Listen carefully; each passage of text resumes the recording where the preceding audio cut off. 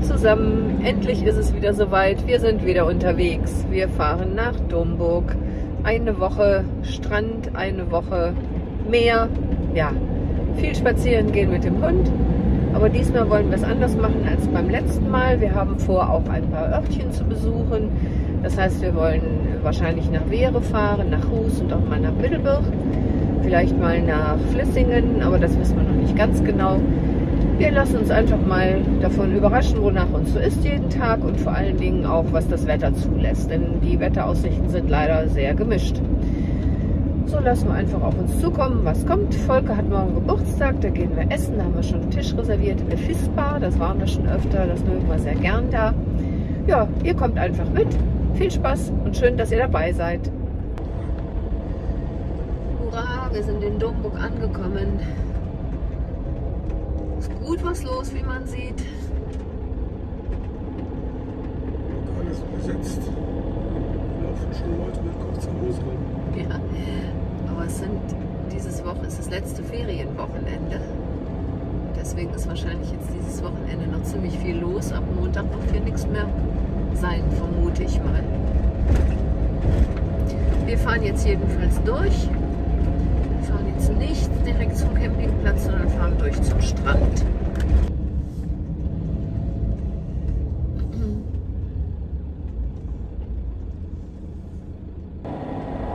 Wer sieht als erstes das Meer? Ich.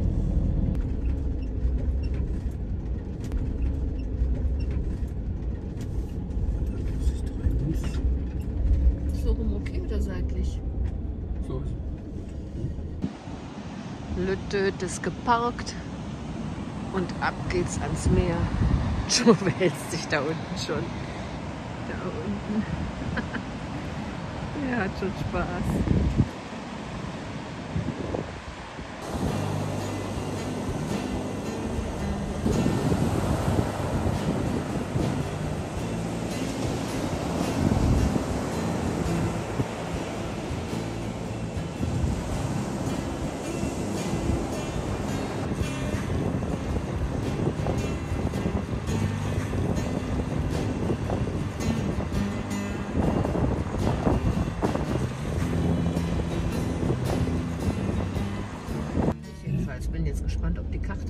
Funktioniert. Denn die ist uns vorher schon zugeschickt worden. Jawohl. Guten Morgen Guten Morgen. und herzlichen Glückwunsch zum Geburtstag. Dankeschön. Ja, wir sind aufgestanden und dann direkt mal losgefahren, ohne groß ähm, irgendwie was zu machen am Campingplatz. Und direkt weitergefahren an den Strand, um hier zu frühstücken. Das findet man nämlich viel schöner. Und da unten wird uns auch ein bisschen Action geboten. Sehr nett. Und Christa hat mir einen Kuchen gebacken mit 77 Kerzen. Okay, das stimmt nicht. Weder das erste noch das zweite. Aber damit ihr nicht denkt, der Volker kriegt nichts geschenkt zum Geburtstag, die Woche Domburg, die ist mein Geschenk. Dankeschön. Bitteschön. Ja, leider ist unsere Campingfreude diesmal ein bisschen getrübt, denn der Frostwächter hat ausgelöst, ähm, das heißt natürlich schon zu Hause ausgelöst. Und es ist so, er lässt sich einfach, obwohl es jetzt schon seit 36 Stunden hier warm drin ist, nicht wirklich wieder schließen. Also es ist, ne, das ist das Ergebnis. Wir hantieren mit Kanister, sehr unangenehm, aber nicht zu ändern. Da müssen wir jetzt gucken, wie wir mit klarkommen.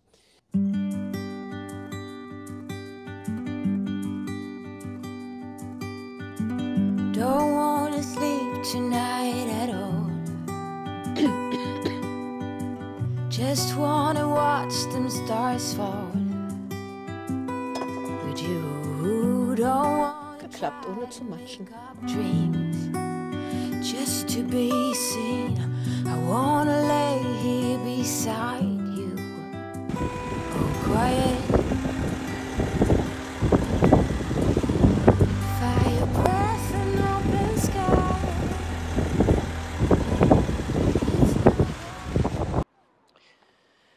Wir sind jetzt nach Wehre gefahren haben das Auto hier auf einem Wohnmobilplatz geparkt und marschieren in die Stadt. Auf geht's!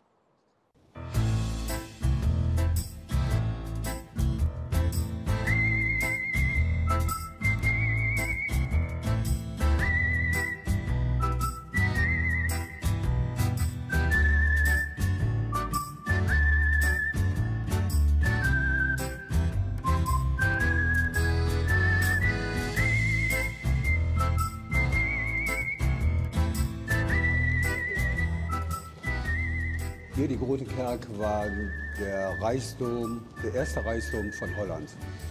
Äh, die Kirche wurde nicht mehr benutzt, nachdem die napoleonischen Truppen die Kirche als Feldlazarett äh, gebraucht haben.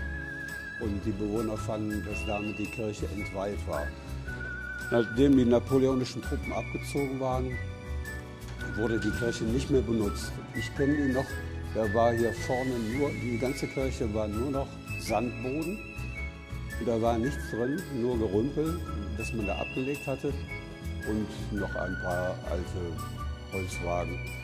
Ähm, man hatte aber die Gelegenheit über, über Leitern, die dann irgendwo auf einer Plattform endeten und von da aus wieder mit einer weit, äh, weiteren Leiter nach oben führten, oben dann auf den Dom zu klettern. Ich denke, das ist heute aus Sicherheitsgründen nicht mehr möglich. Das war auch kriminell. Die Leitern, die federten so durch, wenn man da hochging. Und ich war ja eben drin und ich habe gesehen, es geht doch. Also man kann über, nicht über die Leitern natürlich, sondern es gibt eine Treppe nach oben. Ah, dann ist es meine neu. Haare. ja.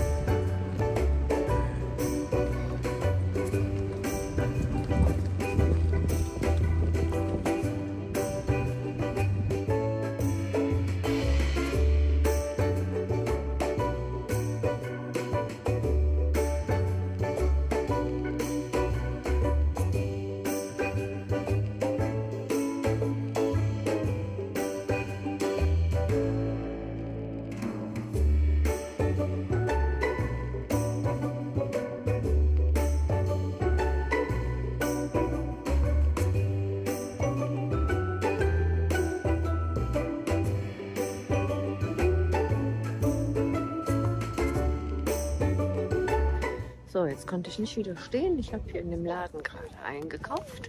Und was es ist, das zeige ich euch nachher, wenn wir wieder im Wohnmobil sind.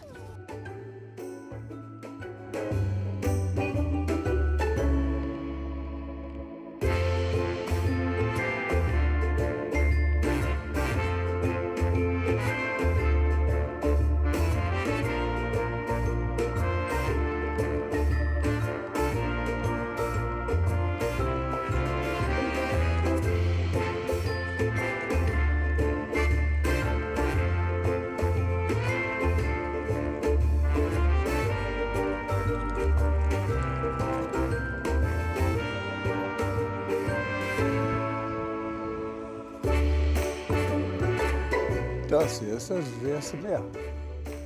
Das ist ein Binnenmeer, das ist abgeriegelt hinten durch den Deich bei Frauenpolder. Und dann gibt es hier keinen Zugang, keinen Meereszugang mehr. Und folglich müsste das hier Süßwasser sein.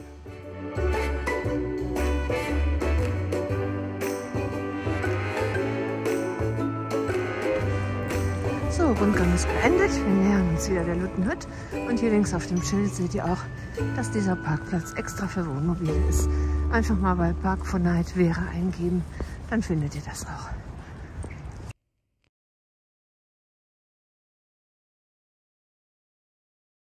Wir sind jetzt in Fispa und werden hier heute zu Abend essen. Volkers Geburtstagsessen.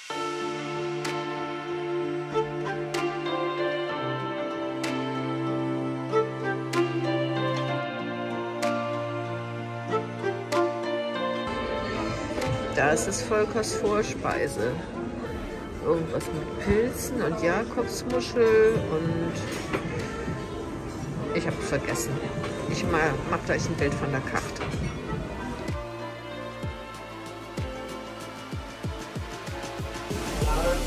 Das ist einmal Wolfsbach mit Muscheln für mich.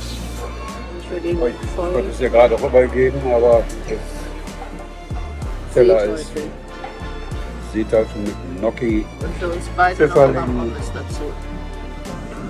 Schokolade, Kuchen, Kaffee Panna Cotta und Blutorangeneis. Mein Nachtisch.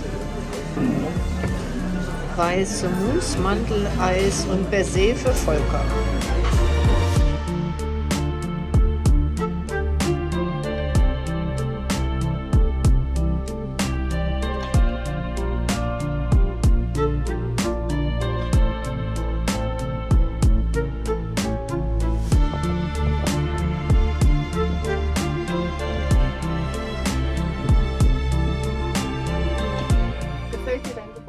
Dir dein Geburtstag gefallen? Ja, wunderbar. Also erstmal Domburg als, als Stadt. Ja, und dann natürlich das wunderschöne Essen heute Abend in der Fispa. Und in Wäre. Und Und am Strand. Ja, wäre es natürlich ein Kleinod. Es war nur kalt durch den Wind. Kalt. Dunkel leider. Also wenn da die Sonne drauf scheint, ist die Stadt wirklich wunderschön. Nochmal zum Wohl. Dankeschön. Oh. Ja, Kling. Komm, wir machen nochmal. Kling. kling, kling. Ja, und ich habe euch ja auch noch. Ach nee, erstmal ne, zum Wohl.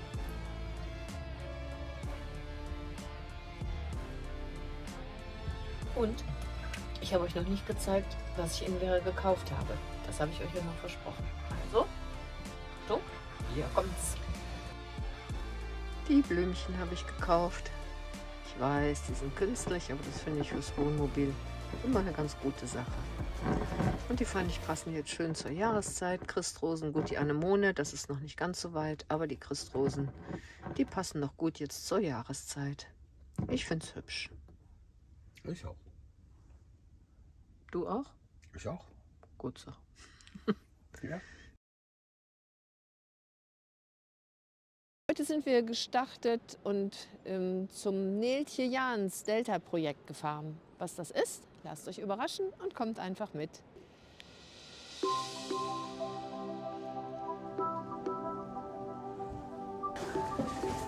Ähm, Irgendwie ist da, stand da was mit Walfisch. Bienvenue dans le monde des baleines. Huch.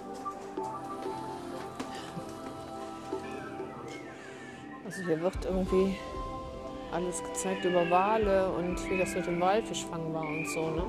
Und auch wie die leben. Und jetzt können wir ja, da, da sind Delfine mit Rückenflossen.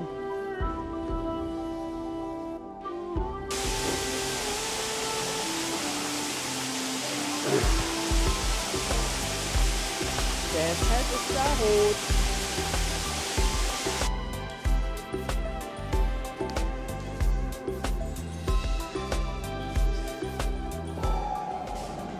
Sechshundert Liter Milch am Tag, unfassbar. So, da passe ich voll rein in das Walfischmaul. Guckt euch das an hier. War ja ganz nett, habe ich mir aber irgendwie doller vorgestellt. Du? Ja, ich Ja, mir so, auch. doll- ja, so doll lohnte sich das nicht. Dann gehen wir jetzt zu den Seelöwen. Ja, Dann gucken wir uns jetzt mal die Seelöwenvorfütterung an.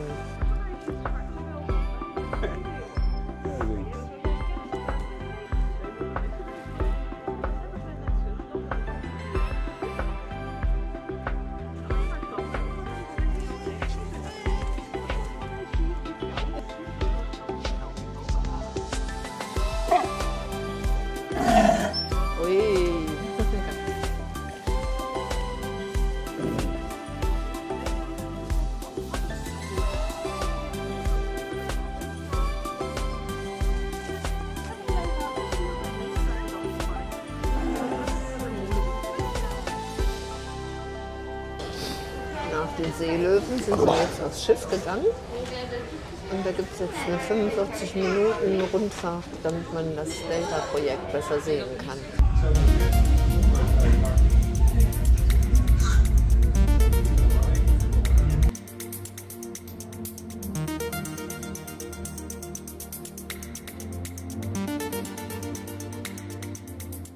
Tja, hatten wir uns irgendwie mehr darunter vorgestellt. Ne? Ja wir kommen nicht nah genug ran. Man kann es nur schlecht erkennen. Man sieht, dass die Schleusentore halb geschlossen sind, aber sonst ist nichts zu erkennen. Genau. Wir hatten irgendwie gedacht, man fährt da bis ran, aber das ist dann Ja. alles mit irgendwelchen Bojen weit weg, abgesperrt, wo da steht, dass es zu gefährlich ist, daran zu fahren. Also bei schönem Wetter ist das sicher ganz nett, wenn man hier oben auf Deck sitzen kann und sich übers Wasser schaukeln lässt. Aber so lohnt es sich nicht so arg. Da liegt das Schiff, mit dem wir gerade gefahren sind. Auf geht's ins Aquarium.